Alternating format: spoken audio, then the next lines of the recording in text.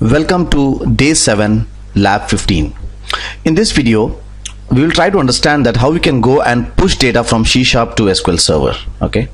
So here's a simple screen which we have already created in our previous classes. So we're going to take this screen and whatever data we enter here right? So we would like to push data from this UI to this customer table here. So if you remember uh, in the previous lab that is lab 14 we had this simple customer table here. Now there's a problem here. This customer table has only two fields here right? Customer name and country while you know our frm create customer screen has lots of fields right?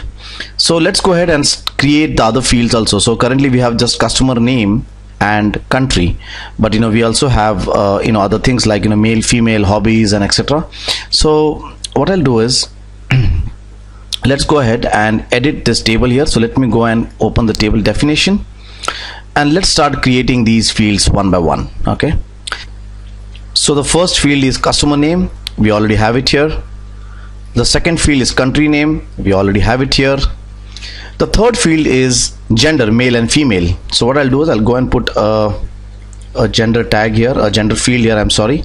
And I'll say okay um, must be I'll just make it uh, care of male female you know like maximum let's say six characters or seven characters. Okay. Now you know my advice would be to go to SQL Server questions and answers video series. Now you can see that I have defined here something called as nchar you know there are lots of other data types here. So we have a we have a separate video on what exactly are these data types. So my suggestion would be to please go and see that video you know where we have talked about this data types. So in this practical labs you know we are not we are not going to speak about what exactly are these data types and what they do. Okay so currently I've selected nchar but you can always go and select nvarchar numeric and other things. So my suggestion would be to go to SQL Server uh, questions and answer series and see the video uh, you know the data types of SQL Server. Okay so we have put gender here the next thing what we have is hobbies. So let me say hobbies. Okay let me say nvarchar of 10 nchar of 10 status. Now if you see status right status is more of uh, it's like a boolean field right? You are married then it is true. You are if you're unmarried then you are false right? So what I'll do is I'll put here the field name as married and I'll make it boolean field so I've, I've created uh, I've taken the data type as bit. So in bit right 0 is false and 1 is true. So if he's married this value will be 1 if he's unmarried then this value will be 0 okay. So let's go ahead and save this table. Right. So what we have done is we have gone ahead and we have created the table structure here. And now the next step is we have to go in this screen here. And we have to write a code you know by which you know when he clicks on this button here the data is entered into this table. So we would like to you know push the data. Currently you can see that all the data are null here because we have not done anything. So these are all previous records which which we had uh, you know created in the in the in the previous day while the other all values are null for now. So now let's go ahead to this FRM create customer design screen here customer screen here. And in this button click right we would like to go and insert data into this table which we have uh, recently updated. So the first thing what I'll do is let me go here and now this I'll not create as a preview button but I'll make this button name as submit. Okay in other words because now this is no more a preview button it's more like a submit button. So I've uh, renamed the button name to submit and here I will say uh, submit to SQL Server. You know this is going to go and submit now. And let me double click on this button here so initially if you remember right we had created we had written a code you know which actually helps us to pop up the message box right? So you know we are going to use the same code. Uh, only thing is that we are not going to go and pop up the form. So this code right which actually pops up the form I'm going to control X this code and move it outside this function here. And uh, currently I'm not going to use it. So if you remember right in the previous uh, days you know we had created this code you know which actually helps us to uh, you know take values you know from the option buttons from the text box and put it into a variable here. So you can see that if you select the male then this gender is set to male. If you select the painting as uh, the hobbies as painting it will select the value as you know what you call painting here or else reading. So we already had a lot of things here. Uh, now you know the only thing what we have to do is we have to go and write the ADO.NET code here right which will insert to SQL Server. So that's the only thing we need to do here. Okay. So let's start writing the code.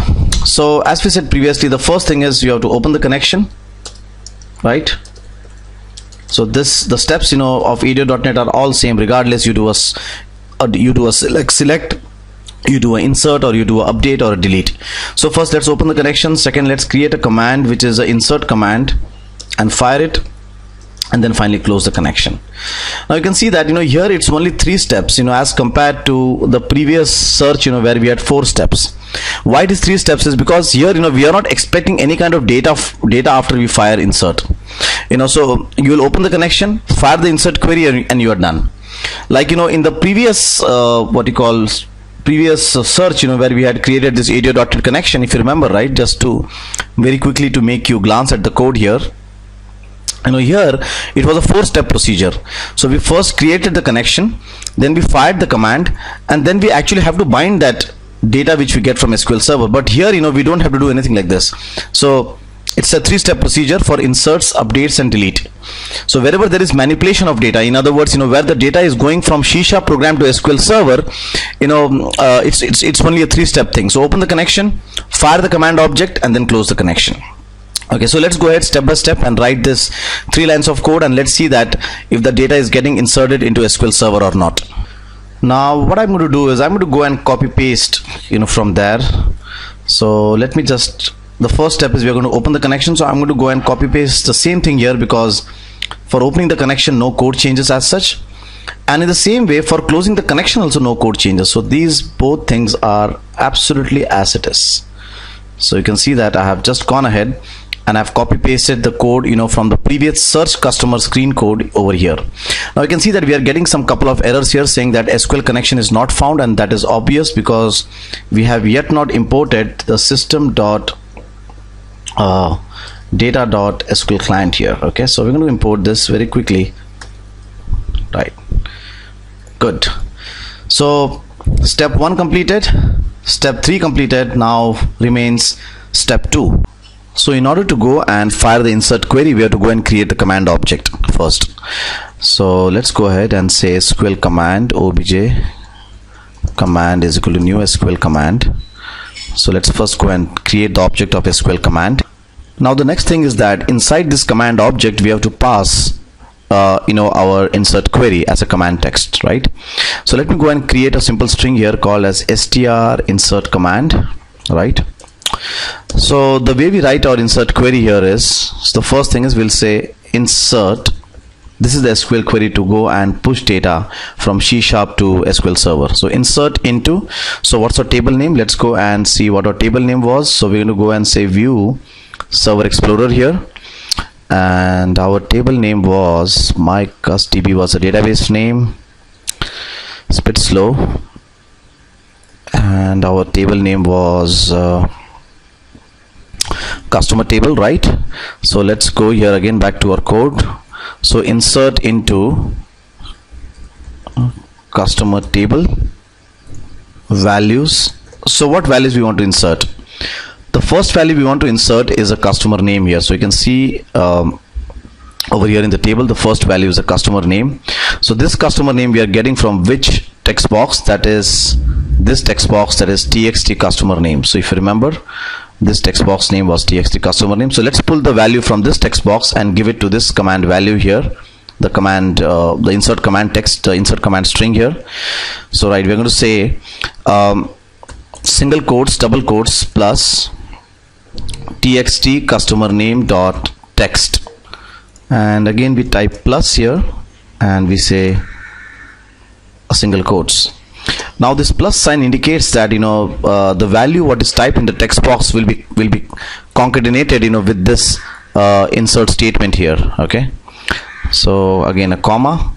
Now you know we will be using single quotes uh, in our SQL query uh, you know for data which is string. So in, in other words for example if you remember in this customer table here right? All these guys like customer name country gender uh, you know almost every one of them is uh, basically a string here okay? A string data okay?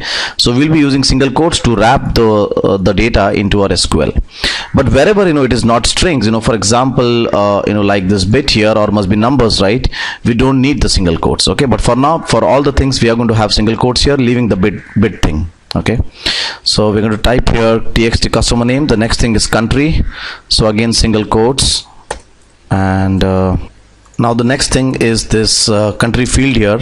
Now the country data we are taking from this drop down right? So if you remember the name of this drop down it was cmb countries.